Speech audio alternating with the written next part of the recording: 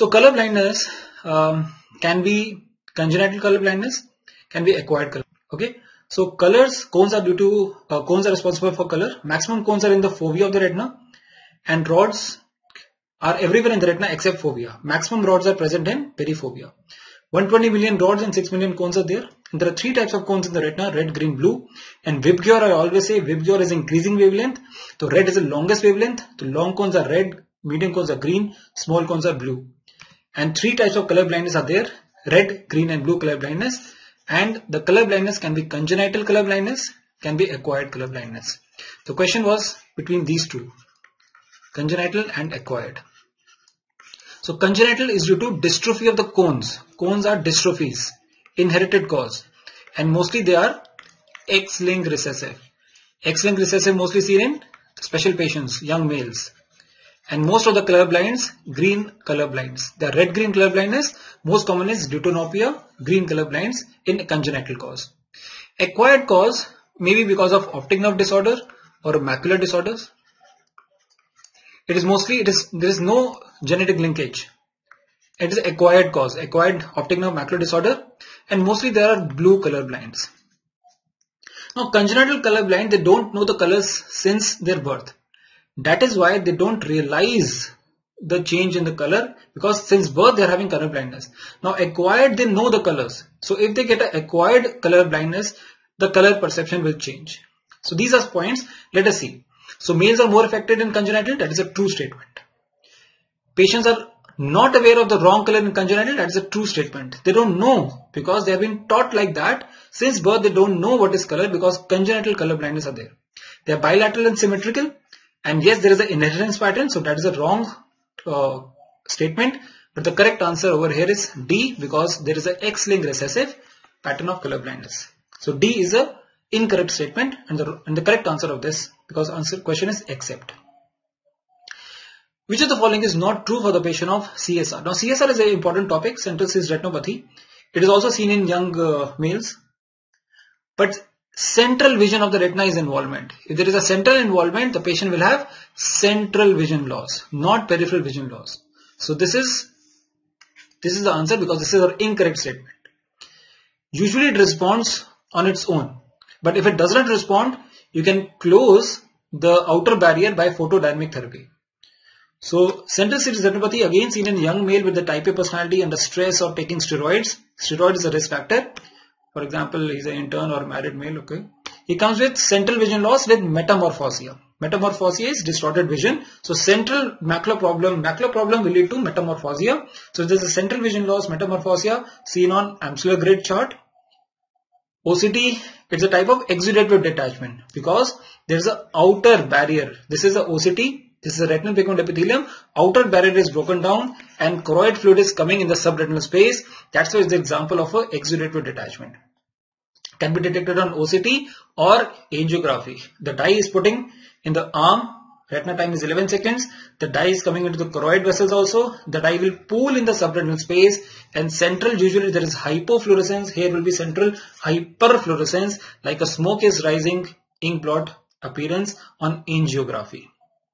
So if it uh, resolves on its own in 3 months that is okay. Otherwise photodynamic therapy is done. Photodynamic therapy is done with 689 nanometer 689 nanometers uh, wavelength verteporfirin verteporfirin drug is used and the outer barrier is, uh, is closed by development of oxygen free radicals that closes the barrier after 3 months steroids accentuate the disease and it is a type of exudative detachment so A is the right answer over here because it is an incorrect statement so answer is A from what distance a patient of 6-6 vision 6-6 vision can see the 618 letter on which chart?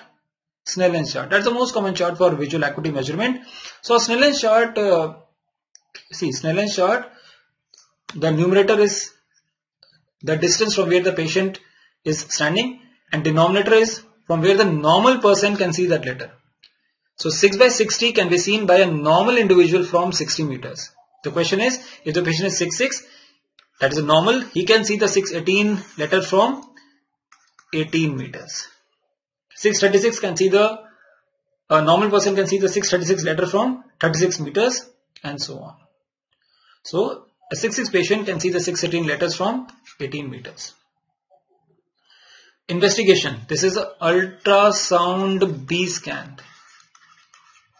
It's an objective test. This is anterior. This is the posterior part of the eye.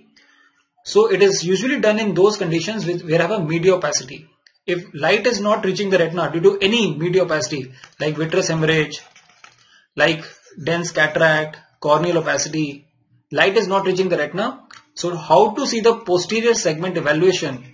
Posterior segment evaluation in cases of media opacities, ultrasound B scan is used. So see in these uh, options, which of these have media opacities? Retinal detachment, retinal detachment can be seen by indirect ophthalmoscopy. But if it is associated vitreous hemorrhage, which is a media opacity, ultrasound B scan is indicated. Posterior segment evaluation in case of media, that is, that is the ultrasound uh, B scan used for. To identify the type of optic atrophy, no. Optic atrophy, optic disc evaluation is by slit lamp biomicroscopy or direct ophthalmoscopy. Gold standard is slit lamp biomicroscopy because that's a binocular test. That is clinical evaluation. To confirm the ocular mass is retinoblastoma tumor? Yes. Why? Because it can pick up calcification. To confirm, seeing by indirect ophthalmoscopy, but to confirm calcification is an important point in retinoblastoma. So that is also indication of ultrasound B scan. So C is the answer because it is not used for identifying optic atrophy. That is a clinical evaluation. First regarding the following condition. Now this is a port wine stain, a Sturge-Weber syndrome. Sturge-Weber syndrome. Now it is not common than the capillary hemangioma. Capillary hemangioma is more common, so that is the answer because what the question was, all are true except this is not, this is false statement. Yes, it is associated with increased episcleral venous pressure, Sturge-Weber syndrome, thyroid eye disease, and carotico cavernous fistula. These three conditions have increased intraocular pressure, increased episcleral venous, pressure, which can lead to secondary intraocular pressure. So glaucoma can also be associated with all the three. And yes, there is diffuse choroidal hemangioma. Tomato ketchup appearance is seen. Splash tomato blood thunder appearance seen in central retinal venous occlusion. Tomato ketchup appearance seen in diffuse choroidal hemangioma that is seen in Sturge-Weber syndrome. Next is also factual. Which vitamin deficiency deficiency causes angular blepharoconjunctivitis? Is a repeat question of one of the old questions. Vitamin B2 is the answer. Vitamin A deficiency causes xerophthalmia. Everyone must be knowing this. And the uh, WHO classification also important. This was the question. Vitamin B6 deficiency causes gyrate. That's why the treatment is also given vitamin B6.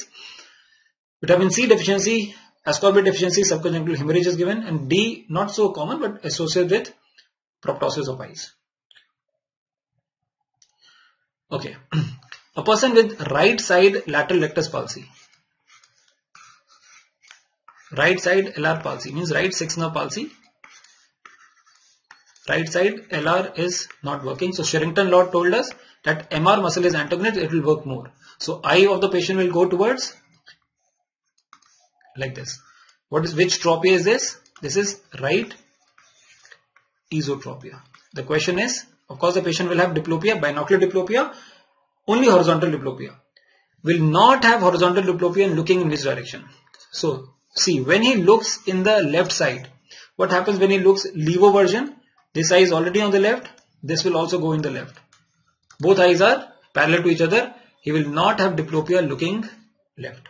And maximum diplopia, I always say just choose the muscle uh, maximum diplopia is on the looking right because just choose the muscle palsy.